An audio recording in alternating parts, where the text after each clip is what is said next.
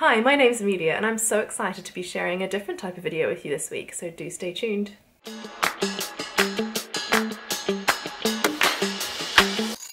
Hi and welcome to Sew Amelia. This week my very good friend Amelia and I got together and had a lovely chatty catch up all about our latest make which is the Amelia dress by OjayRoom Patterns.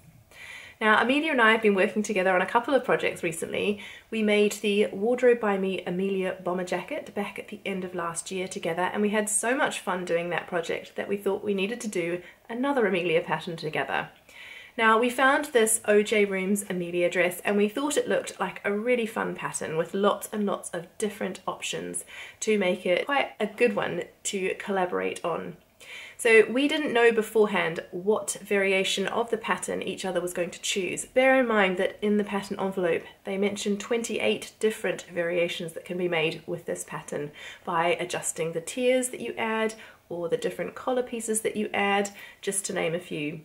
So it was really, really lovely to get together earlier this week and to see which of these variations that we had chosen to make. In terms of sizing for this pattern, I'll just briefly mention that here. It does come in sizes extra, extra small through to a 3XL, and that is a bust of 30.3 inches through to a bust of 41.3 inches. There is quite a lot of ease through the waist and the hips, so those measurements aren't quite as important, but the bust measurement, there isn't a huge amount of ease there. There are no fixtures or fastenings on this dress. There is a waist channel, an optional waist channel, which you can add with waist ties, so you can cinch it in at the waist a little bit. But apart from that, there are no fixings and fastenings, so this dress came together pretty quickly, which was great. So now the next part of this video is going to be the conversation that I had with Amelia earlier on in the week, where we asked each other some questions about how we found sewing up the pattern, the fabric we used, all sorts of different pattern review questions. And I have to give a big thank you to Theresa who is Lost My Thread here on YouTube and on Instagram. If you haven't seen her pattern reviews over on her channel, you really should. She gives such fantastic detailed pattern reviews and I absolutely love the set of questions that she's put together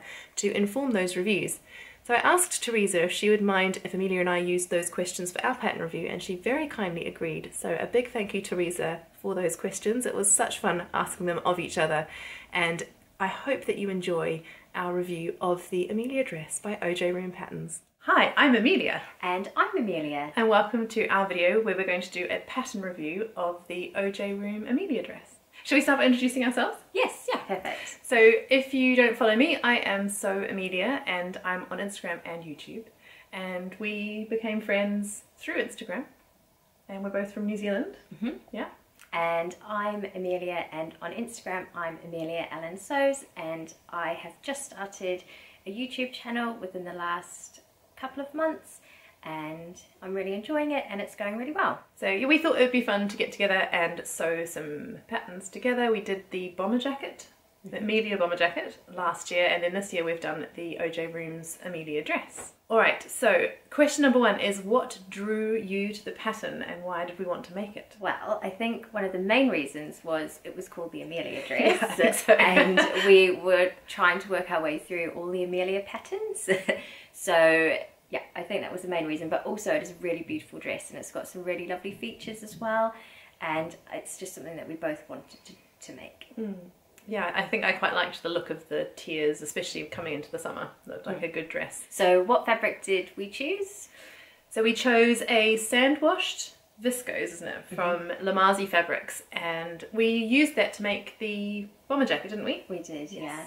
That was the, the black one. The, yeah, the black fabric on the inside of the tulle. Yeah. But it was so nice to work with, and so I thought it would be really nice to use it again so we decided to use the same fabric but different colours. Yeah, so I've gone for the magenta colour, which is actually quite purple um, in real life, but it's a really beautiful colour. It's so pretty. Yeah. yeah. And Amelia's gone for... I went for the blue. I think it was just called blue, but it is quite a bright cobalt blue, which I thought would be really nice for the summer. I've got like a jumpsuit, which is a similar colour to this, which I really love.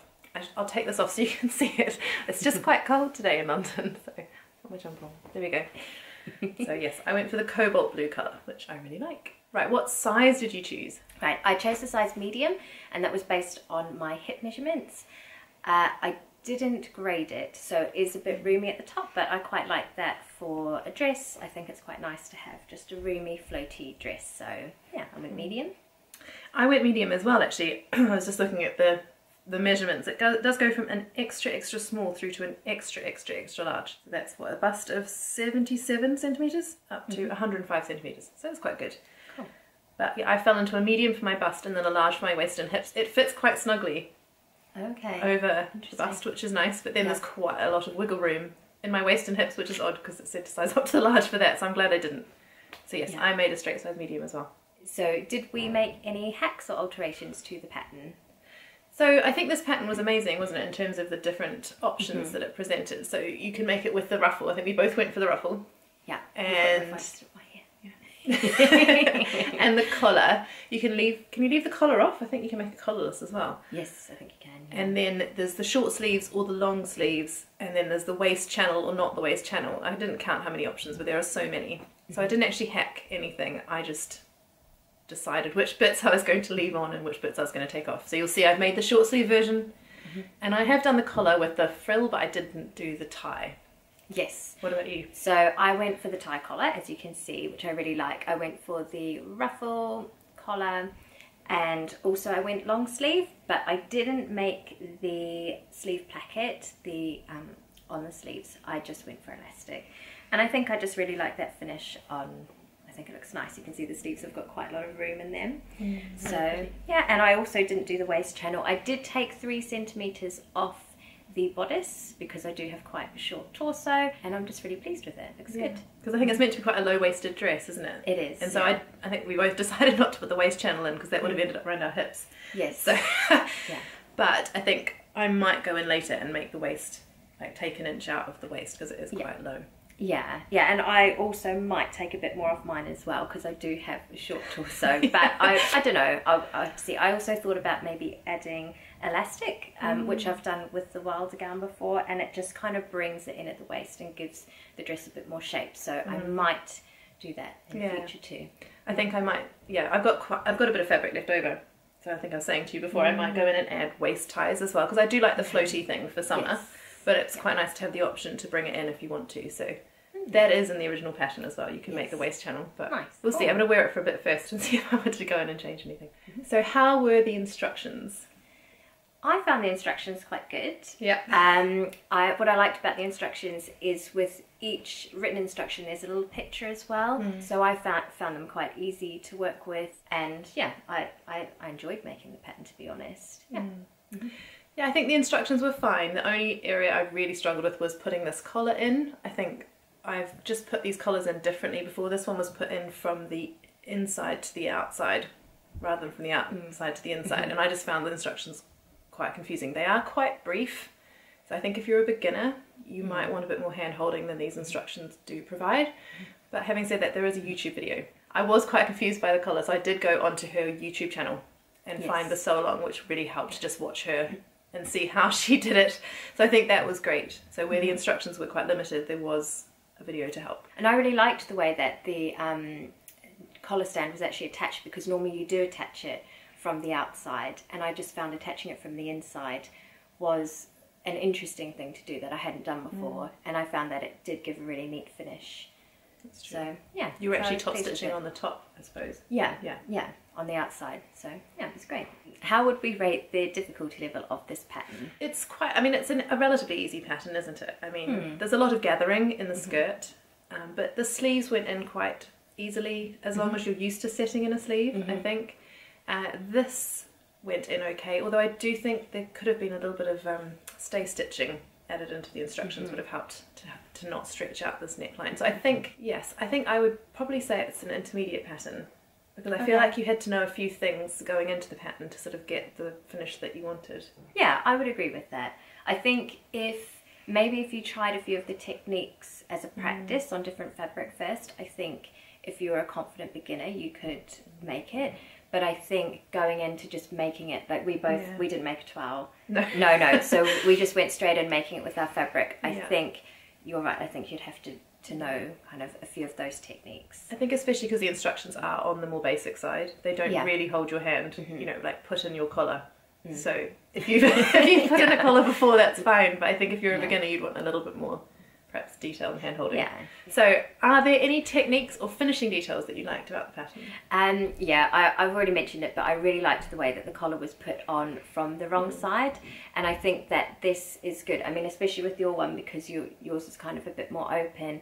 Um, it just gives that nice finish to the outside when you do the top stitching on the outside. Yeah. Yeah, I think it, it finished. It did finish really nicely. The sleeves came set in really beautifully. There was no issue getting those No. to sit Yeah. nicely. Other patterns, you know, when you do a set in sleeve, sometimes you're wrestling and making sure that it's all um, fitting in without any um, what call it, Puckers. puckers and things. That's right. Yeah. So I do, I do think there were it was nicely drafted and things. Is there anything that we didn't like about the pattern?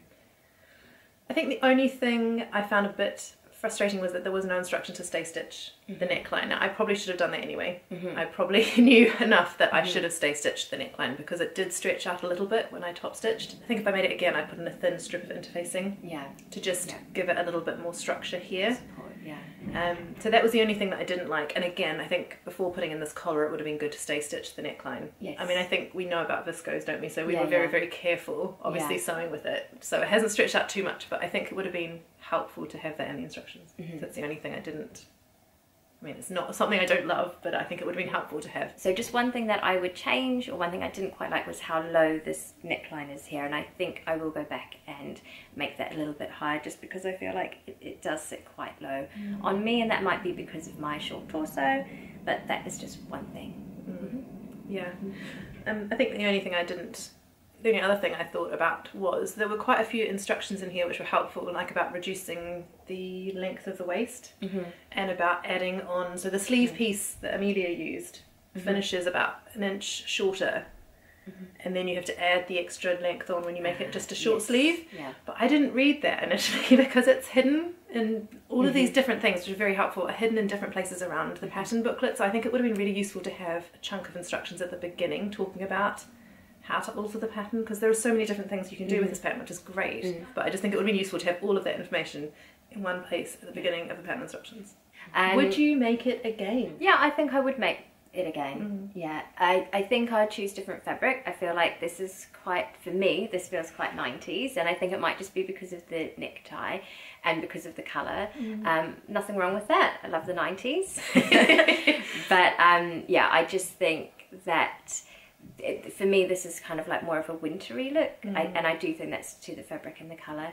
I think for more of a spring summer look, kind of more like maybe a cotton lawn or maybe a little floral dress would would um, I'd like to make it again in that type of fabric. Yeah, I'd like to make it again as well. I saw an inspiration picture um, in a magazine that came through the door, and they'd shirred like a waist piece, and it used to be more of a floral chiffon for the spring, which I thought looked really pretty. And I'd love to use this pattern and hack it a bit more and try something different for the summer. So I think I will make it again. It's a lovely basic pattern, I think. Yeah. With so many different variations. Yeah, yeah, it is. And also, I quite um, like the idea of just making the top version as well. Yes. I think that that would look really nice just with jeans, and, and you could dress that up or dress that down as well. Definitely. So, what fabrics do we think work well for this pattern? So I think viscose does work really well because it's got that sort of lightness, and so it works really nicely for the tiers and for that floaty feel of the dress. I think, yeah. Yeah, I think this um, sandwash viscose is um, not like typical viscose. I feel like it's got a bit more body and a bit more structure. So I would like to try just a more kind of regular viscose or maybe viscose drill fabric. Um, I think that would look nice. Yeah, also chambray. Yeah, oh, chambray, no. chambray would be nice. Yeah, Yeah, chambray and cotton lawn. I was going to say it's similar, isn't it, to chambray? Yeah, Just yeah. that lightness, especially with the sleeves. I think this is quite a nice sleeve for a cotton lawn, and, Mm-hmm. and that one they would look really pretty too, the longer sleeve. But I probably wouldn't go anything heavier than that. I don't think I'd make it in a poplin.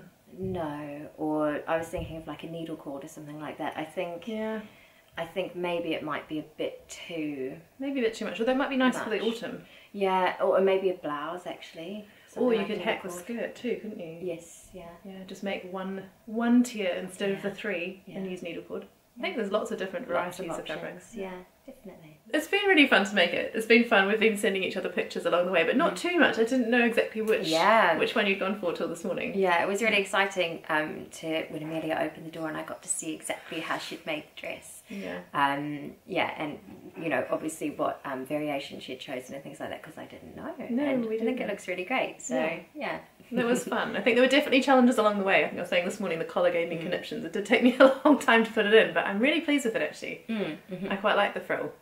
So I'll definitely put that perhaps onto another dress as well. Yeah, and I think it's just little things like little tweaks which won't take long, like making Mm. just making this. I think that that would make it just look a, a lot nicer. Yeah. Um, And yeah. the elastic channel. I think Yeah. I was just worried that it would look a bit too like um blousy, but I don't think it Mm. would because the fit is really nice. Mhm. That's um yeah, I probably should have made a 12, but life's too short. Sometimes life is too short. Yeah. So anyway, I hope you enjoyed seeing our pattern review and coming along as the two Amelias. hmm Talked about our Amelia Yeah. dresses. We're hoping to do another video like this again, I think. Yeah, definitely. Yeah. So if you have got any Amelia patterns, do share them in the comments below. Would love to um, see, We'd yeah. love to see them, yeah. and we'll see you in the next pattern review. Yeah, Yeah. I can't wait for the next pattern review. See you soon. See you. Bye. so I hope you enjoyed watching that. We certainly had a lot of fun filming it and putting the dresses together and getting together. This was such a lovely project. Do let me know in the comments below if you enjoyed seeing this type of chatty video. It's certainly different from what I've popped up on my channel before and I really hope you enjoyed it. If you would like to see more of these pattern reviews with Amelia, also let me know in the comments, and if you've got any Amelia patterns, do share those, I'd love to see them. As ever, it would be so great if you could like the video, and if you've not yet subscribed, do do that, and if you hit the notification bell, that will make you aware of when I do publish future vlogs. So that's it from me today. Like I say, I hope you enjoyed watching, and I'll be back to share another video with you next week. In the meantime, I hope you have a lovely week full of lots of happy sewing. I'll see you soon. Goodbye!